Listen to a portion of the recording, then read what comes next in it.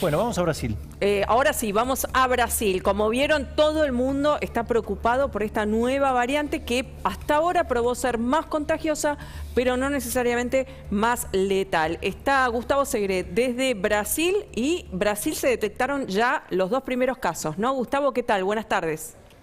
¿Qué tal, Pancho Guada? ¿Cómo le va? Un saludo a Mariana también. Hola.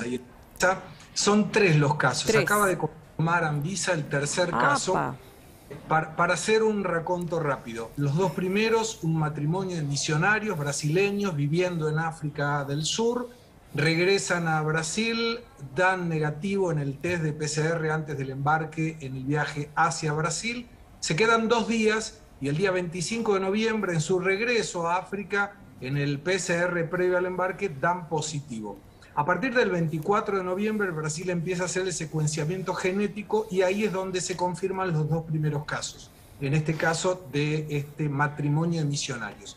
Hasta hoy a la mañana la información que había era que no habían sido vacunados, pero ya llegó la información que sí, que fueron vacunados con una dosis de Jensen en los dos casos, mm. cada uno de los integrantes del matrimonio, la sintomatología es leve y toda la con quien estuvieron en contacto están siendo monitoradas. El tercer caso es un joven que también provino de África del Sur y que por motu propio hizo un PCR al llegar a Brasil, porque el protocolo no permite eso, no, no establece esa condición. Como él venía de África, había escuchado de esta variante nueva, iba a encontrarse con familiares, resolvió hacer este test PCR, le da positivo y hoy el Instituto Adolfo Luz confirma que se trata también de la variante Omicron. Tiene las dos aplicaciones de vacunas de Pfizer y está con sintomatología leve también. ¿Y, cuál ¿Y qué decisión se toma sobre, bueno, se los aísla y hay alguna otra medida del gobierno con esto? Están aislados, están monitoreados toda la gente con la quien tuvo contacto con ellos, en el avión y fuera del avión también en el caso de los misionarios, porque el muchacho quedó aislado inmediatamente el que regresó el día 27. A partir del lunes pasado, 29 de noviembre, están suspendidos los vuelos de seis países, inclusive de África del Sur a Brasil. Aquellos brasileños que quieran regresar y que en esos países se encuentran pueden hacerlo a través de eh, alguna otra eh, combinación de vuelos y deben hacer cuarentena obligatoria de 14 días. Gustavo. Bien, mm. sí, un dato para los argentinos que siempre preguntan iban a abrirse las eh, fronteras terrestres en diciembre, esto ha quedado en suspenso y ah. la única posibilidad mm. para Brasil, para aquellos argentinos que quieren venir de vacaciones, aprovechando ahora que se inicia eh, esta etapa, esta temporada de verano, es vía Paraguay que es la única frontera terrestre que tiene Brasil abierta. Este mm. Gustavo, ¿qué se dice esto es la gran novedad, ¿no? perdón, Marina. Perdón. Sí. dale, dale, Mariana. No, quería preguntarte si, si tenés información sobre qué se dice en el análisis de esta nueva variante, porque ayer escuchaba a Oscar Singolani que decía que es como muy diferente a las demás, muy distinta, es como si se iniciara una nueva pandemia, pero que por otro lado tiene una parte que, condice con una gripe normal, o sea que podría ser una nueva pandemia mucho más leve. Eso, no sé si hay información en Brasil acerca de esto.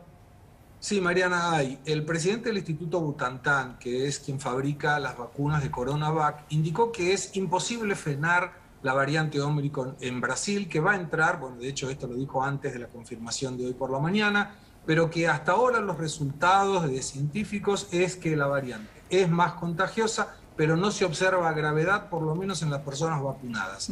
Los tres confirman esto hasta ahora, por supuesto se está verificando preventivamente ya hay 14 capitales que han suspendido el carnaval. Suspender el carnaval en Brasil es como mm, suspender. Terrible. Más o menos, ¿no? Sí, sí, eh, claro. La, gente está bastante con precaución, no hay pánico, la vida continúa normal y de hecho la explicación a un dato que podemos compartir es que Brasil ha creado en el mes de octubre 253 mil nuevos puestos de trabajo, en lo que va del año, enero-octubre, 2.600.000 y esto lleva a la proyección de más de 3 millones de nuevos puestos de trabajo en la economía formal para este año, récord en los últimos años.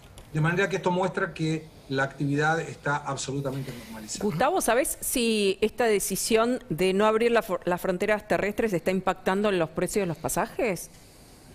El precio de los pasajes está absurdo, absurdo, Guadalupe. Si vos viajás, por ejemplo, hoy las dos, eh, los dos canales que hay es San Pablo y Río de Janeiro con Buenos Aires.